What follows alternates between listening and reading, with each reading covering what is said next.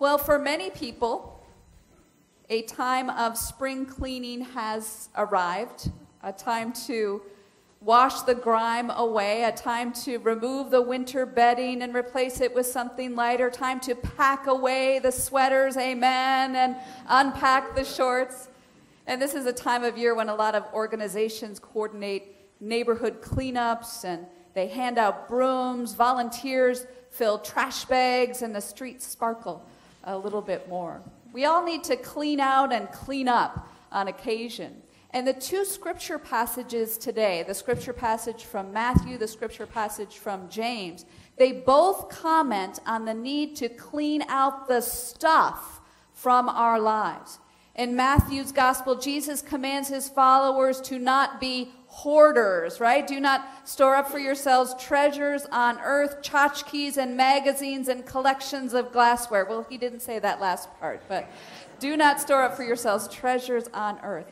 If you've ever visited the home of a hoarder, you know how difficult it is to move around the house due to all of the stacks of things, stacks of newspapers, books, food items.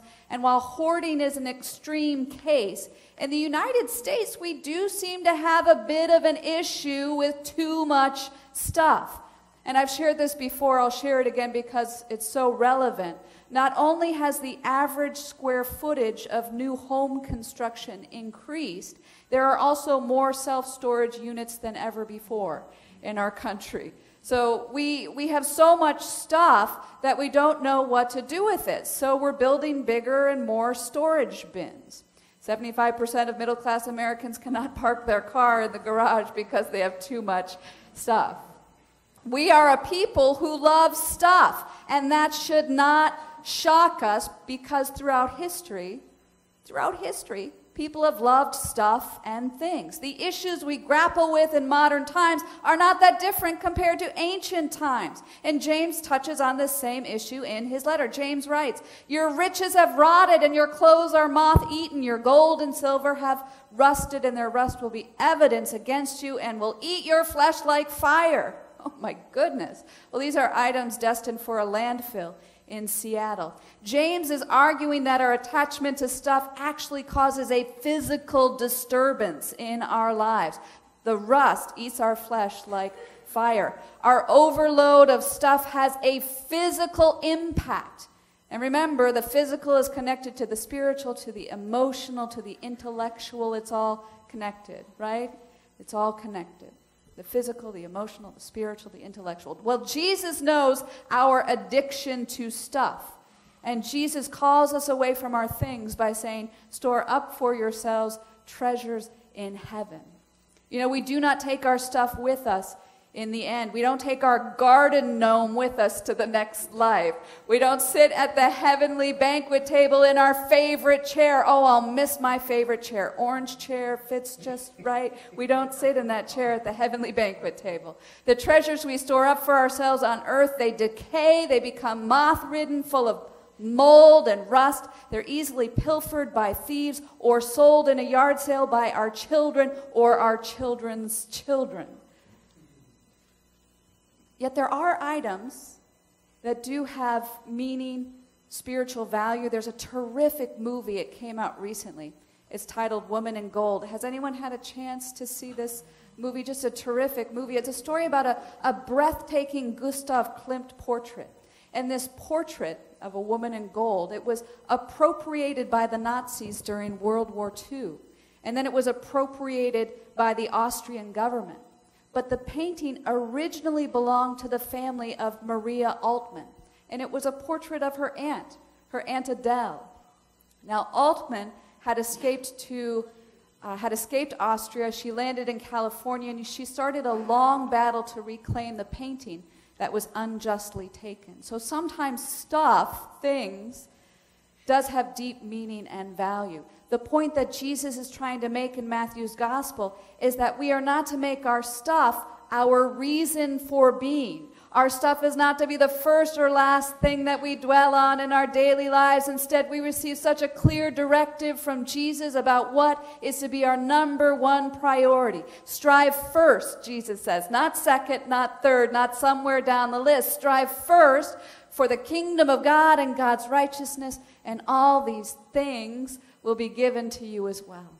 With God first, with God at the center, with God as the foundation, stuff no longer has as much of a hold over us.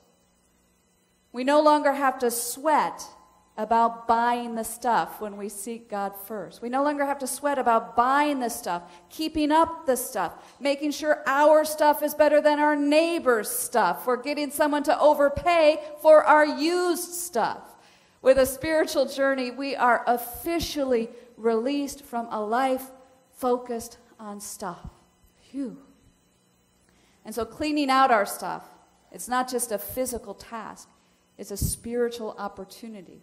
It's a release, it's a freeing up, it's making room for God. And there's even an embrace of social justice that happens when we realize our society's skewed relationship with things, which uh, so often leads to the issue of money. In James, there is a calling out. He writes this Listen, the wages of the laborer who mowed your fields, which you have kept back by fraud, cry out, and the cries of the harvesters have reached the ears of the Lord of hosts. You have lived on earth in luxury and pleasure. You have fattened your hearts. Well, James is on quite a roll here. All of this corruption ultimately leads people to condemn and murder the righteous one. And you know, we may be thinking at this point, well, phew, I, I paid the mowing guy a good wage, right, to mow the lawn. We may be thinking, well, I don't live a life of luxury, so these words from James, they do not apply to me.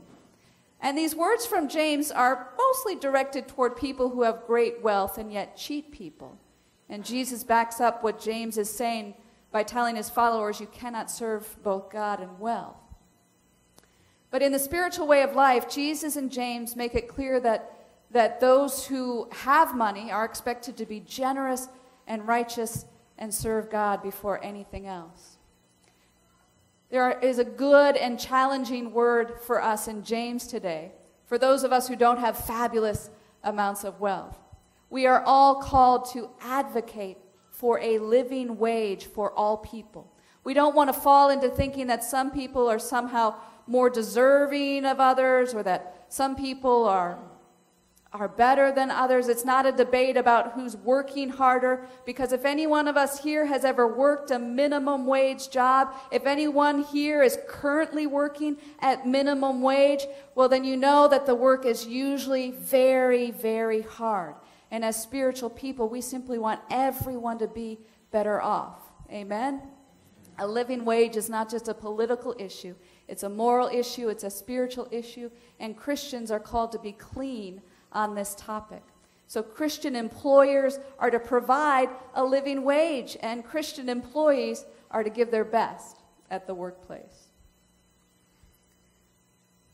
So, it's two very powerful scripture passages today from Matthew, from James, and some, in some ways, it seems as if Jesus is dismissing everything with his final words in that passage from Matthew. What does Jesus say? So do not worry about tomorrow, for tomorrow will bring worries of its own. Today's trouble is enough for today.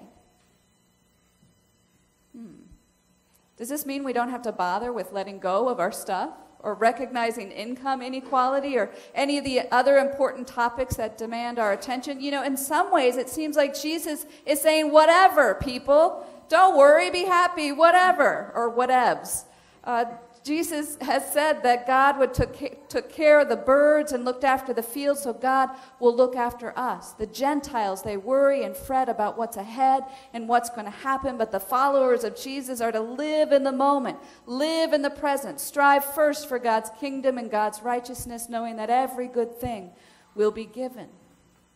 You know, sometimes I think, sometimes I think we have so much stuff and we have so many things because we are terrified of being considered less than another. We are scared of being alone.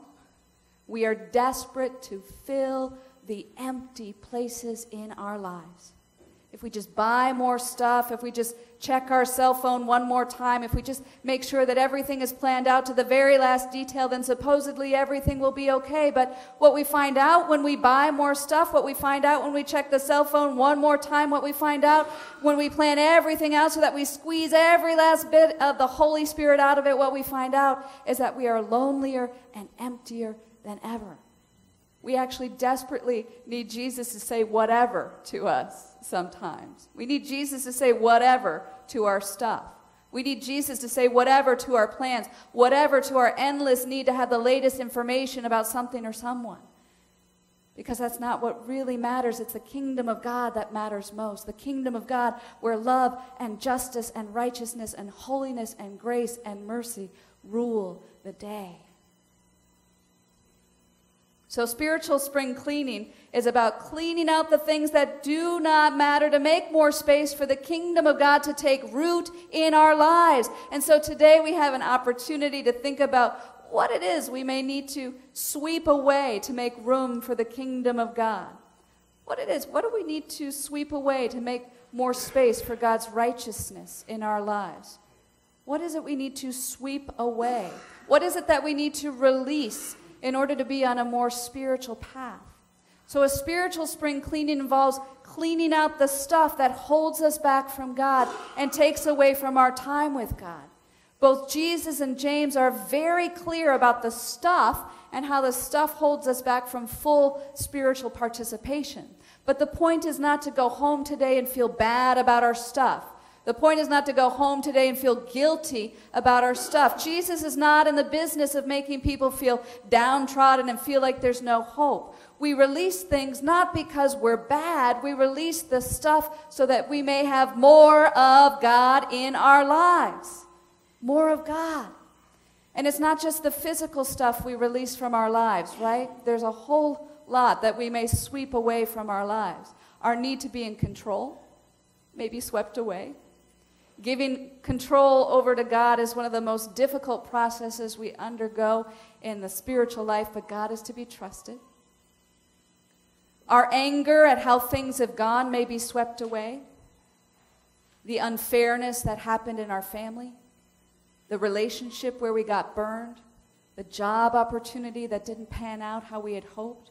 We cannot change the past. Even God cannot change the past, but God can redeem it. Our despair over injustices of the world may be swept away. The wars, the violence, the abuses of governments and corporate powers. When we hold on to despair, we do not let God usher in peace or harmony. God wants to co create with us a better world. And if we sit too long in despair, God cannot use us to God's glory. Or maybe it's not despair that needs to be swept away. Maybe it's apathy that needs to be swept away the not wanting to do anything because nothing ever changes. Well, God wants to use us as instruments of transformation. But if we sit back and refuse to participate, nothing will change. Our fear needs to be swept away. That thing that keeps us from sleep and, and makes us like the Gentiles. Fear may overwhelm us, but love casts out fear. When we lean on the Lord, when we abide in love, fear fades. So we sweep away our need to be in control. We sweep away our anger. We sweep away our despair, our apathy, our fear. We sweep it away so that God may enter more fully into our lives. And these are all good things to sweep away anger, despair, fear. But there's something else that needs to be cleaned out this spring. And it may seem very small, just a little voice a little voice that tells us that this spiritual thing doesn't work. This spiritual thing is ineffective. It's that voice that whispers, urging us to do life on our own, to do life apart from God. There's something that's, that's tugging us away from holiness and righteousness, telling us that it's impossible, so why even attempt to live spiritually? There's something that's pulling us in the direction of self telling us that we matter most. We're the center of the world. God is not the center. We're number one. There's something that's drawing us away from prayer and worship and spiritual study and fellowship with a community of people, telling us that the church has lost its meaning and God is not powerful. Well, I'm only able to give a very short testimony here. I'm not able to speak for anyone else, of course, but I can say without any doubt whatsoever that the spiritual life is the only way of life that gives any meaning. Now, I have doubts about many things, various theologies, doctrines, biblical interpretations, but these doubts keep me on my toes. Of this I am sure. Striving first for God, striving first for God's righteousness is the greatest thing that has ever happened in my life. It is the greatest call that God has placed on my heart, and it is the only thing that keeps me sane and pointed toward wholeness. And as an added bonus, the striving for God has brought the great honor of being connected with the members and friends of MCCLV. So I need to sweep away that little small voice that tugs me away from the spiritual life. I need to sweep away that voice that, that tells me to separate myself from God and do life on my own. But you know, I've also had to sweep away some ideas about God that are not particularly fruitful. Along the way, we may need to sweep away some understandings we have about God and church and liturgy and who Christ is and how biblical passages are interpreted. Spiritual growth means that we come to different understandings along the way. There's nothing bad or wrong about gaining wisdom and insight. And in letting go of some of the old ways, it doesn't mean we release everything. We clear out and we clean out, again, so that God may have more of a place in our lives.